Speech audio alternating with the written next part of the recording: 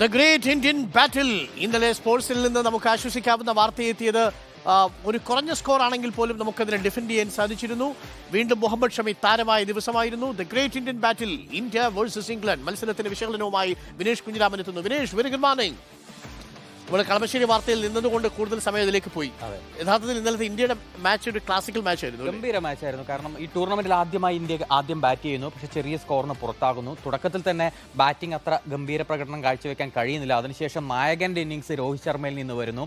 ഒപ്പം K L രാഹുലിന്റെ ഉറച്ച പിന്തുണ അവസാന ഘട്ടത്തിലേക്ക് വരുമ്പോൾ സൂര്യകുമാറിന്റെ ഗംഭീര ബാറ്റിംഗ് നാൽപ്പത്തിയേഴ് പന്തിൽ നിന്ന് നാൽപ്പത്തി ഒൻപത് പിന്നെ ജസ്പ്രീത് ബുംറയും കുൽദീപ് യാദവും അവസാന ഓവറുകളിൽ നടത്തിയ ഒരു ചെറുത്തുനിൽപ്പ് അങ്ങനെ ഇരുന്നൂറ്റി ഇരുപത്തി ഒൻപതിൽ എത്തുന്നു. മറുപടി ബാറ്റിംഗിൽ നൂറ്റി ഇരുപത്തി ഒൻപത് റൺസിന് ആ, ഇംഗ്ലണ്ടിന്റെ എല്ലാ താരങ്ങളും പുറത്താവുകയും ചെയ്യുന്നു. ഇംഗ്ലണ്ടിന് ആറ് മത്സരങ്ങളിൽ അഞ്ചാമത്തെ പരാജയം. ഓൾമോസ്റ്റ് ഇനി പുറത്തേക്ക് പോവാം ഓൾമോസ്റ്റ് അത് സാങ്കേതികമായി മാത്രം പുറത്തല്ല എന്ന് പറയാം. പക്ഷെ അത് അവർ പുറത്ത് തന്നെയാണ്. കാരണം സാങ്കേതിക മാത്രമാണ് അത്. ഇനിയിപ്പോ ഇന്ന മത്സരം ഇത്ര മത്സരത്തിൽ അടുത്ത മൂന്ന് മത്സരങ്ങളിൽ മറ്റേവരെ തോൽക്കണം നമ്മൾ എല്ലാ മത്സരവും ജയിക്കണം അങ്ങനെയൊക്കെ പറഞ്ഞ് കണക്കുകൾ പറയാമെന്നതിനപ്പുറത്തേക്ക്. അതുപോലെ തന്നെ ഇന്ത്യ ഇനി പുറത്താവണമെങ്കിലും അത്ഭുതങ്ങൾ സംഭവിക്കണം. അടുത്ത എല്ലാ മത്സരങ്ങളും ഇന്ത്യ പരാജയപ്പെടണം. അതുപോലെ അഞ്ചാം സ്ഥാനത്ത് മത്സരങ്ങളും വിജയിക്കണം അങ്ങനെയൊക്കെ പറയാം. നമുക്ക് ഇന്നലത്തെ മത്സരത്തിലേക്ക് വരാം.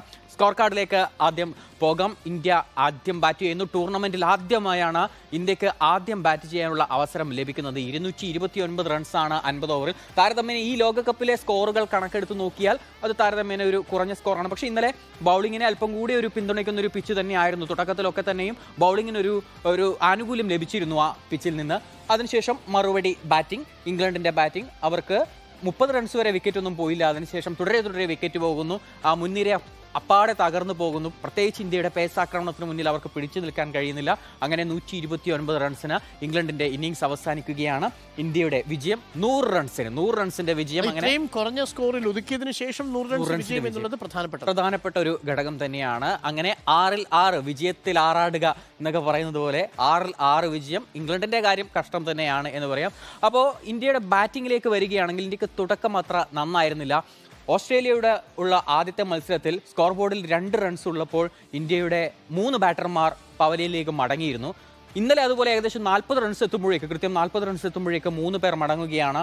അത് ശുഭ്മൻ ഗില്ല് പോകുന്നു ശ്രേയസ് അയ്യർ പോകുന്നു വിരാട് കോഹ്ലി പൂജ്യത്തിന് പുറത്താകുന്നു. ഒരു പ്രതിസന്ധിയെ ഇന്ത്യ കൺമുന്നിൽ കാണുകയായിരുന്നു. പക്ഷേ അവിടെയാണ് ഒരു പക്വമായ ഇന്നിങ്സ് രോഹിത് ശർമ്മയുടെ ഭാഗത്ത് നിന്ന് ഉണ്ടാകുന്നത്. രോഹിത് ശർമ്മ ഈ ടൂർണമെന്റിലൊക്കെ തന്നെയും മികച്ചൊരു സ്ട്രൈക്ക് റേറ്റോട് കളിച്ച താരമായിരുന്നു രോഹിത് ശർമ്മ. പക്ഷേ ഇന്നലെ കണ്ടത് പക്വമായ ഇന്നിങ്സ് കൃത്യമായ സാഹചര്യം മനസ്സിലാക്കിക്കൊണ്ടുള്ളൊരു ഇന്നിങ്സ് എറിഞ്ഞ് ബാറ്റ് ചെയ്തു. പിച്ചറിഞ്ഞ് ബാറ്റ് ചെയ്തു. അനാവശ്യ ഷോട്ടുകൾക്ക് മുതിർന്നില്ല. കാൽക്കുലേറ്റഡ് റിസ്ക് എടുക്കുക എന്ന് പറയുന്നില്ലേ? ആ രീതിയിലുള്ള റിസ്കുകളാണ് ശരിക്ക് ഇന്നലെ രോഹിത് ശർമ്മ എടുത്തിട്ടുള്ളത് എൺപത്തിയേഴ് റൺസാണ് എടുത്തത് രോഹിത് ശർമ്മ ഇന്നലത്തെ മത്സരത്തിൽ ഒപ്പം തന്നെ രാഹുലുമായിട്ടുള്ള നാൽപ്പത് റൺസിന് മൂന്ന് വിക്കറ്റ് പോയപ്പോൾ രാഹുലാണ് കൂട്ടായി വന്നത്. രാഹുലും രോഹിത് ശർമ്മയും ചേർന്ന് തൊണ്ണൂറ്റിയൊന്ന് റൺസിന്റെ ഒരു കൂട്ടുകെട്ട് അവിടെ ഉണ്ടാക്കുന്നു. മുപ്പത്തിയൊൻപത് റൺസ് എടുത്ത രാഹുൽ പക്ഷേ ഒരു അനാവശ്യ ഷോട്ടിന് ശ്രമിച്ചാണ് പുറത്തായത്. ആ സമയത്ത് അത്തരം ഒരു ഷോട്ട് കയറി അടിക്കാനുള്ള ഒരു ശ്രമം അത് ടോപ്പ് എഡ്ജ് ക്യാച്ച് അങ്ങനെ പോവുകയായിരുന്നു. അപ്പോൾ ആ സമയത്ത് ഏതായാലും രാഹുലിന്റെ ഇന്നിങ്സും ഇന്നലെ എടുത്തു പറയേണ്ടതായിരുന്നു. ആ കൃത്യ സമയത്ത് അവസരത്തിനൊത്ത് ഉയർന്നു. പിന്നീട് ഈ രണ്ടുപേരും പുറത്തായതിനു ശേഷം പിന്നെ നമ്മുടെ സൂര്യകുമാർ യാദവ് വരികയാണ്. സൂര്യകുമാർ യാദവ് കുറച്ചുകൂടി വേഗത്തിൽ ബാറ്റ് ചെയ്യുന്നു. നാൽപ്പത്തിയേഴ് പന്തിൽ നിന്ന് നാൽപ്പത്തി ഒൻപത് റൺസ് എടുക്കുന്നു. ഈ മൂന്ന് പേരാണ് ഇന്ത്യൻ സ്കോർ ഇരുന്നൂറ്റി ഇരുപത്തി ഒൻപതിൽ എത്തിക്കുന്നതിൽ നിർണായകമായി ആ ഒരു പ്രകടനം കാഴ്ചവെച്ച മൂന്ന് പേരാണിത്. ഒപ്പം തന്നെ കുൽദീപ് യാദവും കുൽദീപ് യാദവ് അധികം റണ്ണൊന്നും എടുത്തിട്ടില്ല. കുറേ ബോൾ മിസ്സാക്കി എങ്കിൽ പോലും ആ വിക്കറ്റ് നഷ്ടപ്പെടാതെ അതായത് പത്ത് വിക്കറ്റും പോകാതെ പിടിച്ചു നിൽക്കുക എന്നൊരു നിർണായക കാര്യമാണ്.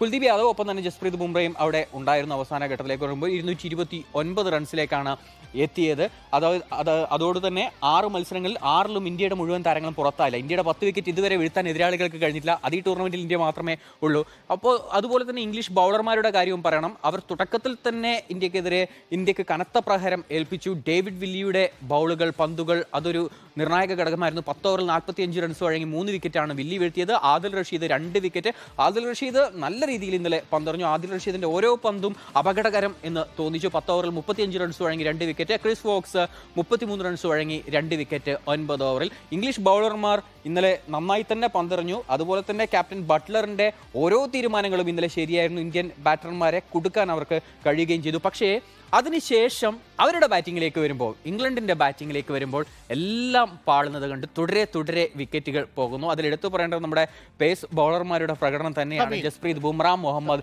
ഷമി. ഷമി നാല് വിക്കറ്റാണ് ഇന്നലെ നേടിയത്. നാല് വിക്കറ്റ് നേടുന്നു. അതുപോലെ തന്നെ ബുംറ മൂന്ന് വിക്കറ്റ് നേടുന്നു. നമുക്ക് അവരുടെ ഒരു പ്രകടനത്തിലേക്ക് കൂടി പോകാം. ഈ മൂന്ന് പേരാണ് ഏറ്റവും ഗംഭീരമായി ഇന്നലെ പന്തെറിഞ്ഞിട്ടുള്ളത്. അത് അതിൽ ഷമിയുടെ ഏഴ് ഓവർ ഇരുപത്തിരണ്ട് റൺസ് വഴങ്ങി നാല് വിക്കറ്റ് എന്ന് പറയുമ്പോൾ ആദ്യ മത്സരത്തിൽ കഴിഞ്ഞ മത്സരത്തിൽ. ഷമിക്ക് ഈ ലോകകപ്പിൽ അവസരം കിട്ടിയത് ആദ്യമായ അവസരം കിട്ടിയത് കഴിഞ്ഞ മത്സരത്തിലാണ്. രണ്ട് മത്സരമേ കളിച്ചുള്ളൂ. കളിച്ചിട്ടുള്ളൂ. അഞ്ച് വിക്കറ്റാണ് ആദ്യ മത്സരത്തിൽ നേടിയത്. ഇന്നലെ നാല് വിക്കറ്റും. അങ്ങനെ. ഒൻപത് വിക്കറ്റ് രണ്ട് മത്സരങ്ങളിൽ നിന്ന്. ആകെ പതിമൂന്ന് മത്സരങ്ങളിൽ നിന്ന് നാൽപ്പത് വിക്കറ്റ്. ഏറ്റവും വേഗത്തിൽ നാൽപ്പത് വിക്കറ്റ് തികയ്ക്കുന്ന ലോകകപ്പിൽ ഏറ്റവും വേഗത്തിൽ നാൽപ്പത് വിക്കറ്റ് തികയ്ക്കുന്ന ബൗളറായി മാറിയിരിക്കുകയാണ്. ഒപ്പം തന്നെ ഈ നാൽപ്പത് വിക്കറ്റിൽ ആറ് തവണ നാല് വിക്കറ്റ് പ്രകടനമുണ്ട്. മിച്ചൽ സ്റ്റാർക്കിന്റെ റെക്കോർഡിന് ഒപ്പം എത്തിയിട്ടുണ്ട്. ജവഗൽ ശ്രീനാഥും സഹീർ ഖാനുമാണ് നാൽപ്പത്തിനാല് വിക്കറ്റുമായി ഇന്ത്യൻ ബൗളർമാരെ മുന്നിലുള്ളത്. മിക്കവാറും ഈ ലോകകപ്പിൽ തന്നെ അവരെയും മറികടക്കാൻ കഴിയും. ഒപ്പം തന്നെ ജസ്പ്രീത് ബുംറയുടെ ബൗളിംഗ് ആറ് പോയിന്റ് അഞ്ച് ഓവറിൽ മുപ്പത്തി രണ്ട് റൺസ് വഴങ്ങി മൂന്ന് വിക്കറ്റാണ് ബുംറ വീഴ്ത്തിയത്. കുൽദീപ് യാദവ് രണ്ട് വിക്കറ്റ് എട്ട് ഓവറിൽ ഇരുപത്തിനാല് റൺസ് വഴങ്ങി ശേഷിച്ച ഒരു വിക്കറ്റ് രവീന്ദ്ര ജഡേജ ചെയ്തിരുന്നു. അതായത് ഇന്ത്യൻ ബൗളർമാരെല്ലാവരും തന്നെ ഗംഭീരമായി തന്നെ പന്ത് എറിഞ്ഞിട്ടുണ്ട്. ഇംഗ്ലണ്ടിന്റെ വിക്കറ്റ് വീഴ്ച നമുക്ക് നോക്കാം. മുപ്പത് റൺസ് വരെ അവർക്ക് വിക്കറ്റ് പോയിരുന്നില്ല. മുപ്പത് റൺസ് വരെ വിക്കറ്റ് പോകാതെ ശേഷമാണ് അതായത് രണ്ട് ആദ്യത്തെ രണ്ട് ഓവറിൽ സിറാജ് അത്യാവശ്യം റണ്ണ് വഴങ്ങിയിരുന്നു. രണ്ട് ഓവർ കഴിയുമ്പോഴേക്കും സിറാജിനെ മാറ്റി ഷമിയെ കൊണ്ടുവരികയും ചെയ്തു.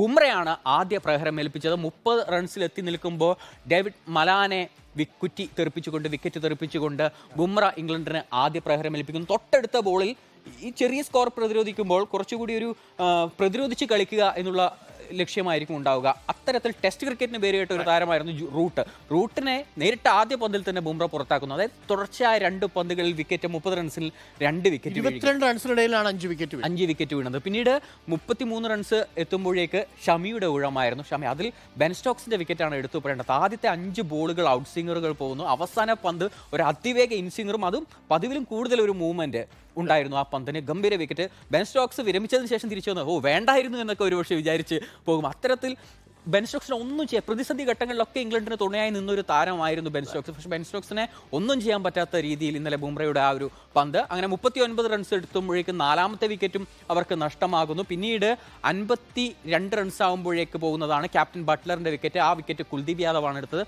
ആ ഈ- ഈ ടൂർണമെന്റിലെ തന്നെ ഏറ്റവും കൂടുതൽ ടേൺ ചെയ്ത ഒരു പന്ത് എന്നൊക്കെ പറയാം. അത്തരത്തിൽ ഏറ്റവും ഗംഭീരമായ ഒരു വിക്കറ്റ് അകത്തേക്ക് ടേൺ ചെയ്ത് ബട്ട്ലറിന് എന്താണ് സംഭവിച്ചതെന്ന് പോലും മനസ്സിലാവാത്ത രീതിയിൽ അൻപത്തിരണ്ട് റൺസിനിടെ അഞ്ച് വിക്കറ്റ് നഷ്ടമാകുന്നു. ആ ഒരു തകർച്ചയിൽ നിന്ന് പിന്നീട് ഇംഗ്ലണ്ടിന് തിരിച്ചു വരാനും കഴിഞ്ഞില്ല. നൂറ്റി ഇരുപത്തി ഒൻപത് റൺസിന് അവരെല്ലാവരും. പുറത്താകുന്നു. നൂറ് റൺസിന്റെ വിജയം. രോഹിത് ശർമ്മ ഇന്നലത്തെ മത്സരത്തിൽ കുറെ നേട്ടങ്ങൾ സ്വന്തമാക്കിയിട്ടുണ്ട്. ഇന്നലെ എൺപത്തിയേഴ് റൺസാണ് രോഹിത് ശർമ്മ നേടിയത്. എൺപത്തിയേഴ് റൺസ് നേടി കളിയിലെ താരമായതും രോഹിത് ശർമ്മയാണ്. ഈ ടൂർണമെന്റിൽ രണ്ടാമത്തെ തവണയാണ് രോഹിത് ശർമ്മ കളിയിലെ താരമാകുന്നത്. ഇന്നലെ ക്യാപ്റ്റൻ എന്നുള്ള നിലയിൽ രോഹിത് ശർമ്മയുടെ നൂറാമത്തെ മത്സരമായിരുന്നു. അപ്പോൾ ആ നൂറാമത്തെ മത്സരത്തിൽ വിജയത്തോടെ തന്നെ ആ മത്സരം അവസാനിപ്പിക്കാൻ രോഹിത് ശർമ്മയ്ക്ക് കഴിഞ്ഞു. രണ്ടായിരത്തി ഇരുപത്തി മൂന്നിൽ ഈ കലണ്ടർ വർഷത്തിൽ ആയിരം റൺസ് തികയ്ക്കുന്ന മൂന്നാമത്തെ ബാറ്ററായി മാറിയിരിക്കുകയാണ് രോഹിത് ശർമ്മ പതും നിസംഗയും അതുപോലെ ശുഭ്മൻ ഗില്ലുമാണ്. ഇതിന് മുൻപ് ആയിരം റൺസ് തികച്ചുള്ള മൂന്നാമത്തെ ബാറ്ററായി മാറിയിരിക്കുന്നു. ആകെ പതിനെട്ടായിരത്തി നാൽപ്പത് റൺസ് അതായത് ഇന്റർനാഷണൽ ക്രിക്കറ്റിലാകെ ടെസ്റ്റിലായാലും ട്വന്റി ട്വന്റിയിലും ഏകദിനത്തിലും എല്ലാം കൂടി പതിനെട്ടായിരം തികയ്ക്കുന്ന അഞ്ചാമത്തെ ഇന്ത്യൻ ബാറ്ററായി മാറിയിരിക്കുകയാണ് മുൻഗാമികളായിട്ടുള്ളത് സച്ചിൻ ടെണ്ടുൽക്കർ വിരാട് കോഹ്ലി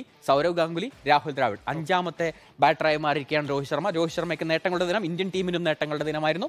ക്യാപ്റ്റന്റെ ഇന്നിങ്സ് യഥാർത്ഥത്തിൽ കളിച്ച ദിവസമാണ്. ഇരുന്നൂറ്റി ഇരുപത്തി ഒമ്പത് ഒരു കുറഞ്ഞ സ്കോറാണ്. പക്ഷേ ആ പിച്ചിൽ എടുക്കാൻ കഴിയാവുന്ന ഉയർന്ന സ്കോറാണ് ഒരു. ടു ഫിഫ്റ്റി ഒക്കെ കിട്ടി കഴിഞ്ഞാൽ എന്തായാലും ജയിക്കാൻ പറ്റുമെന്നുള്ള ഒരു പ്രതീക്ഷ അതിലുണ്ടായിരുന്നു. പക്ഷേ വിചാരിച്ച അത്രയും സ്കോറിലേക്ക് എത്തിയില്ല. പക്ഷേ ബൗളർമാർ ബൗളർമാർ മികച്ച പ്രകടനം കാഴ്ചവെച്ചു. അതിൽ ഷമി വീണ്ടും ഹീറോ ആയ ദിവസമായിരുന്നു.